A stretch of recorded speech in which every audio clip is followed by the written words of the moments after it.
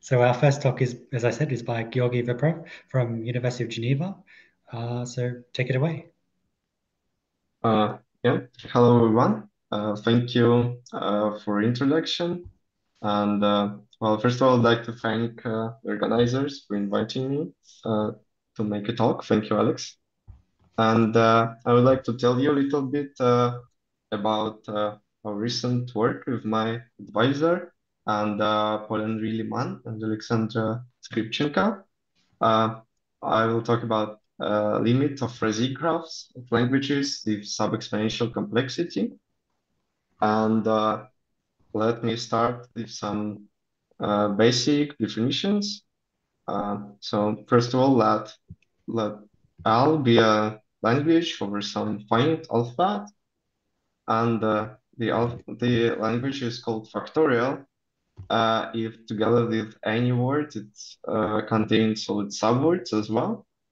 And uh, it's called prolongable if uh, every word in the language admits both left and uh, right continuations. And uh, we'll denote by L sub n the set of set of all words in our, our language of size n. Then the complexity function of a language is just the uh, size uh, of the set, so it counts the number of words of given length. Uh, then they call the language almost prolongable if the proportion of the words that admit of prolongable words among all words of given length tends to one, so this limit is one.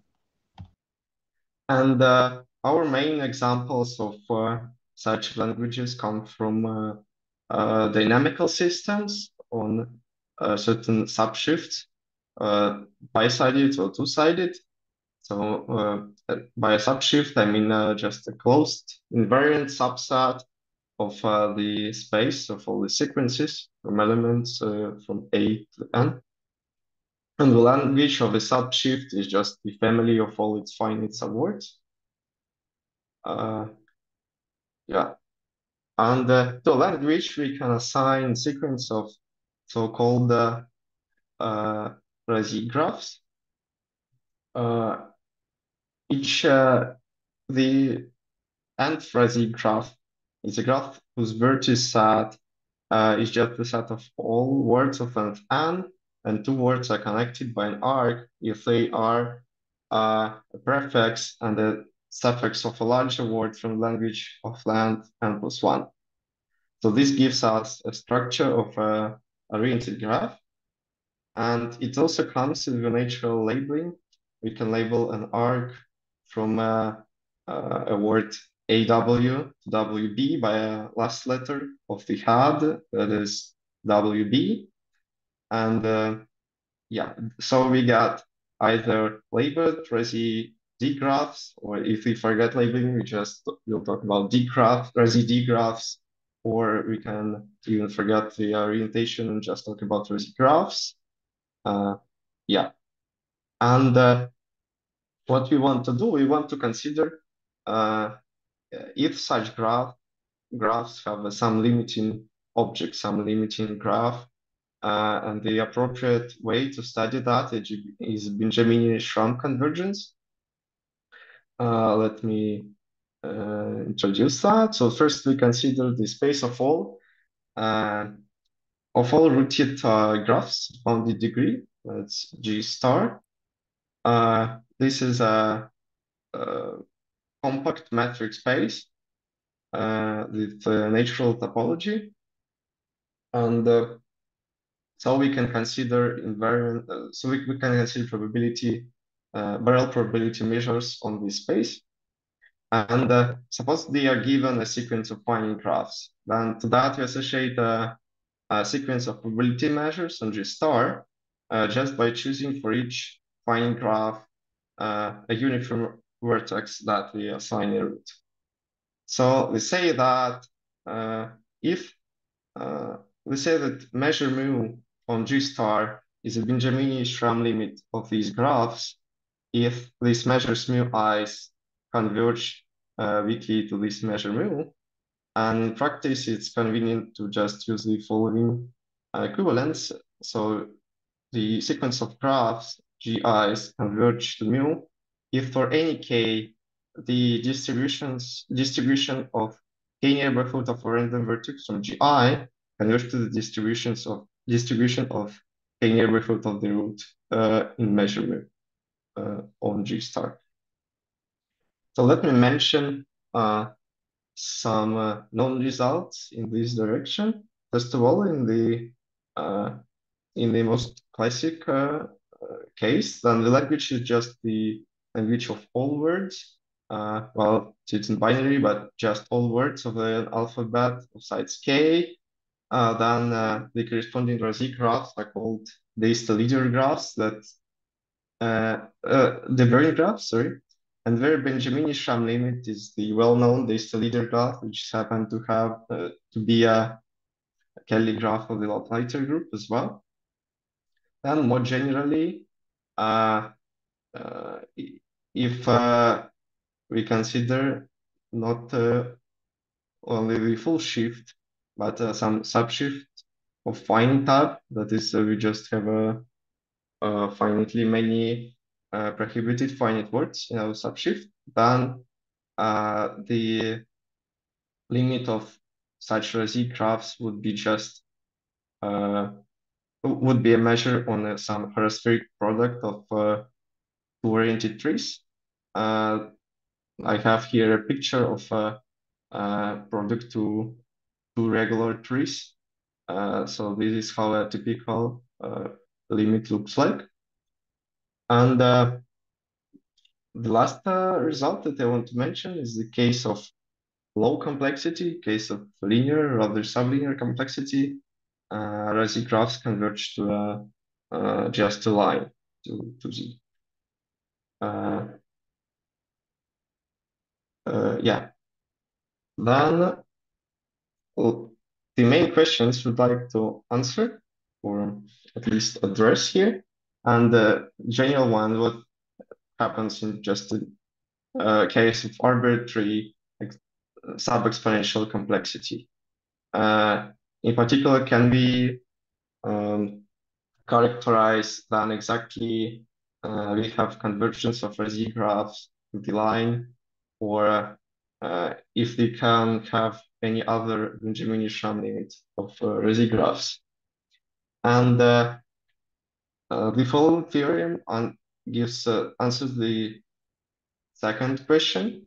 So we can exactly characterize which languages under conditions, which languages have Rauzy graphs converging to uh, to Z, and the theorem is as follows. So suppose they have a factorial and almost prolongable language uh, with sub-exponential and bounding complexity, then converges convergence of Rauzy graphs to the line is equivalent to uh, the following condition on the complexity function is such that the quotient of two consecutive consecutive values of p uh, tends to one and then go into infinity. And uh, uh, let me mention that this condition is always uh, uh, is usually quite uh, easy to check if you know the some kind of good asymptotic for asymptotics for complexity function. not always, but in many cases, as we will see, we can check this property and then conclude that the Rauzy graph converges to Z. And the main idea of the proof is that all these three uh, properties are in fact equivalent to the following fact that a random vertex, a random word of length n has a unique uh, left and right continuations with high probability. And in fact, we also show that the line is the only uh, directed or non-directed in the case of directed or not oriented or not oriented graphs is the only uh, limit I can have in this kind of situation. Uh, that is, if the limit of Rauzy graphs of uh, uh, factorial, almost prolongable language with sub-exponential complexity exists, then it has to be the line. Uh, okay, then next uh, we consider the labeled z graphs. Let me recall that we I label an edge by the last letter of its head. So uh, having uh, given a vertex and uh, knowing a word of a vertex and the label of the outgoing edge, we can reconstruct the word for the head of this edge. So this is the coloring. And in this case, the, uh, any Benjamini Schramm limit of a sequence of labeled graphs is a measure concentrated on, on some labeled infinite graphs. And if we know for some reason that the underlying graph, like if the geometry converge the line Z, this like the graph and we forget all the labels, then the Benjamini Schramm limit would be just a measure on the space of uh, labelings of Z. Uh, that is just a measure on the space of sequences. And Benjamini Schramm limit is always uh, preserved by the change of the root. So this will be uh, some stationary probability measure on the uh, space of sequences. And we can apply this to the uh, case of a uniquely ergodic subshift of sub-exponential complexity. So in this case, if we have uh, uh, these conditions satisfied, so if the graph without labelings uh, converge to the line, then uh, there is a limit of labeled Rauzy graphs, and uh, it can be identified with the this unique invariant measure uh, on this subshift. And the idea of the proof, uh, and let me mention that uh, the similar statement for a linear case for linear complexity was proved by Drummond in his thesis some time ago. And this is a more general statement. And the idea of the proof uh, is that unique ergodicity implies the uniform frequency condition for the words. That means that any finite word has a certain frequency in every big uh, stretch of any big word. And this together with the fact that the geometry of our graphs converge to the line uh, makes it possible to calculate the distribution of the possible chi-neighbors of the random uh, word of length n, and this gives the desired convergence in this case. Uh, well, as I mentioned, uh, we also consider the application of this theorem to languages coming from uh, different kind of subshifts. And uh, first we need to check that they satisfy our conditions uh, of uh, like the language has to be factorial and almost prolongable for everything to work properly. And in fact, uh, almost every subshift satisfies these properties. And in fact, any subshift is factorial. Uh, language of any subshift is factorial just by definition. And uh, any la language of any two-sided subshift is prolongable also uh, by definition. The little bit harder point is that any language of a one-sided subshift that has a finite subset with a dense orbit is almost prolongable. This includes minimal subshifts and uh, lots of others. So to all these situations, we can apply in general uh, previous theorems. Uh, but first, uh, we show the following result that says that if we have just a bound for a sufficient bound for asymptotics uh, of a complexity function, then we, we can conclude uh, the same that Rauzy graphs converge to the line. So what we need, we need one of the three of the following three conditions to be satisfied. Uh, so we either need uh, that the complexity grows slower than n to the four thirds, or uh, if it's asymptotically uh, equivalent up to two different constants to some polynomial growth with uh, power less than uh, one and a half, uh, or if it's uh, strictly asymptotically equivalent to some given any polynomial growth. Then the conclusion of the first theorem is true, then the uh, graphs of the subshift converge to the line. And this we can apply to a bunch of uh, mm, dynamical examples. Uh, let me mention some of them. Uh, for interval exchange transformations, there we just uh, have a finite number of inter subintervals of a unit interval and the literally exchange them in some order.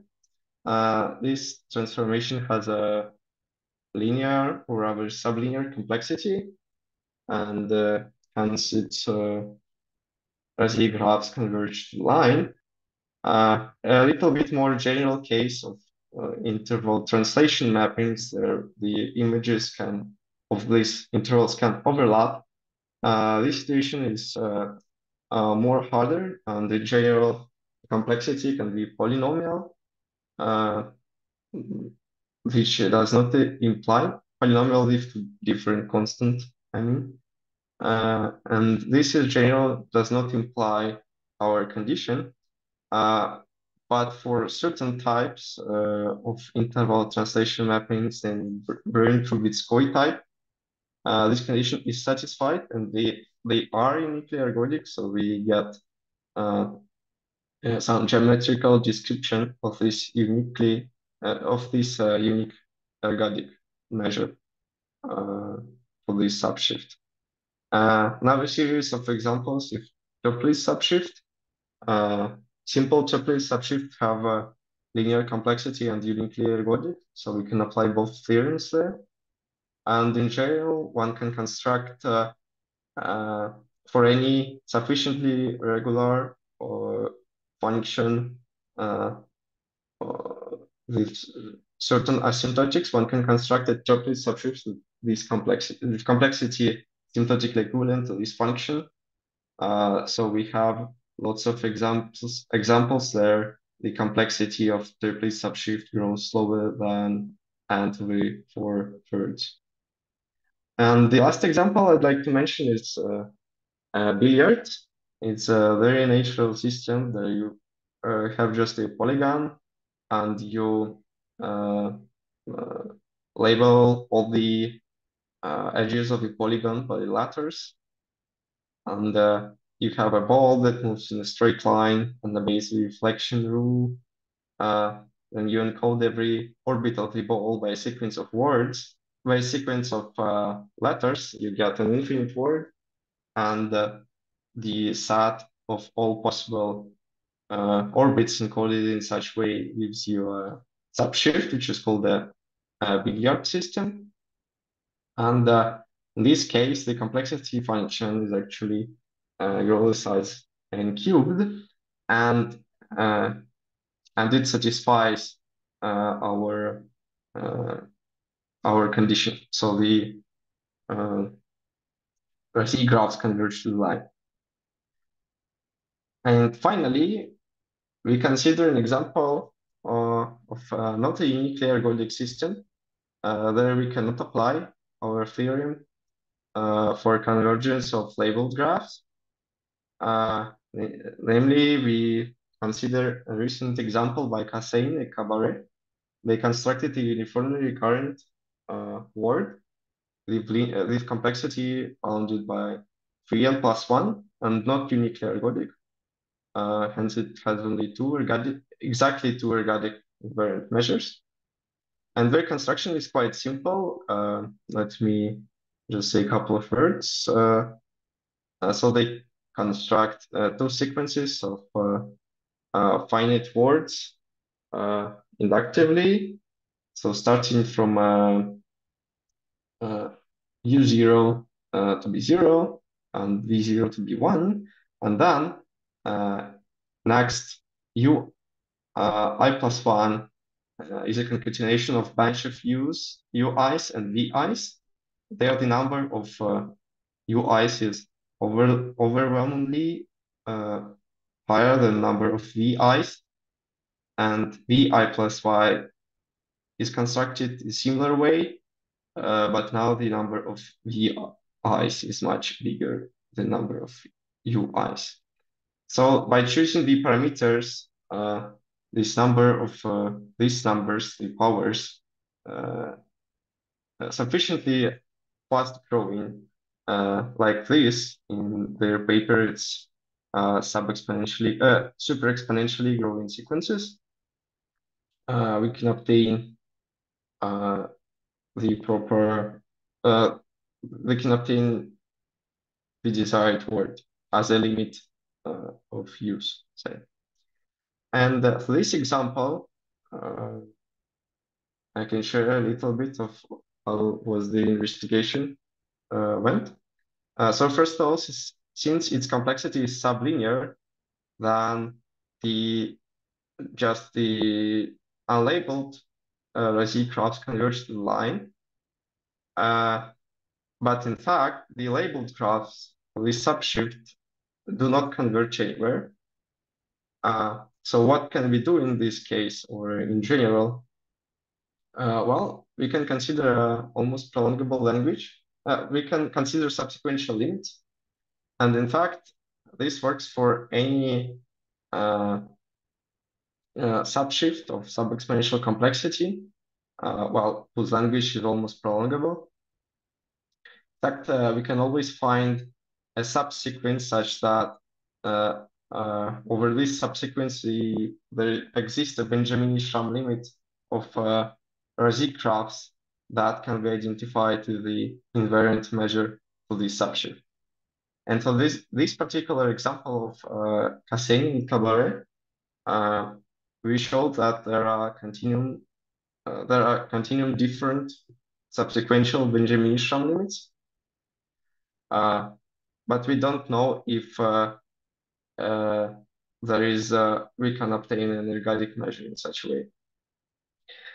So all this raises a couple of uh, questions I'd like to answer. And uh, uh, first of all, can we uh, can we find an uh, an ergodic measure as a limit of labeled Rauzy graphs in uh, this Cassaigne Cabaret example or in general?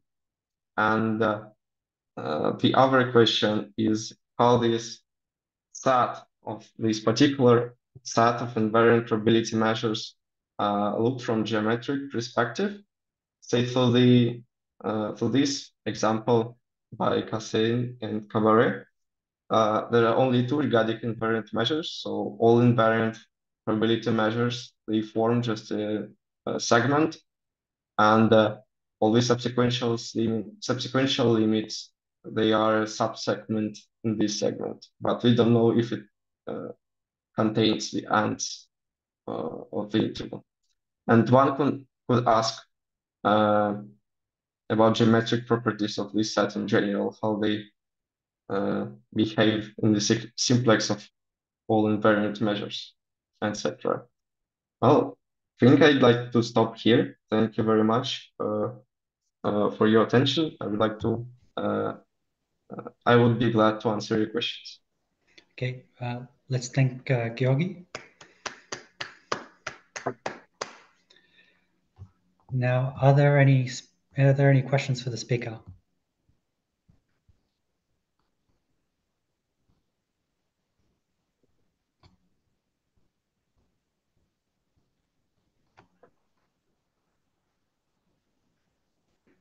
Okay, if no one has any questions, then uh, okay. Uh, so, what uh, what what is the next what is the next step in your research? What would be the ne next problem that you're going to try to answer? So you had some open questions at the end. Uh, is that the next step for you? Yeah, that uh, would be. I mean, there is a, uh, as I mentioned, this particular example is not uh, fully investigated. Uh. And these questions are also, uh, yeah, so basically this is the direction uh, I plan to move towards. Mm-hmm. And uh, I suppose maybe I'll ask a question that might be stupid, but uh, in the talk you're, you're, you're mentioning about Rauzy graphs uh, converging yeah. to a line. Is that if they converge, is that all they can converge to, or can they converge to things that are crazy, or? uh, the whole sequence can only converge to line, uh, mm-hmm. like this result.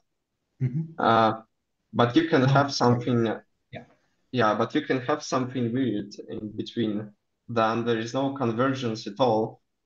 But you have uh, on some sequences you may have converges to some weird things. Uh, we don't have an example of such behavior, uh, but it's uh, interesting to look uh, in that as well. Mm -hmm. But uh, if the proper limit exists, it should be like it has to be. Thank you. Thank you uh, for questions. Are there any more questions for Georgii?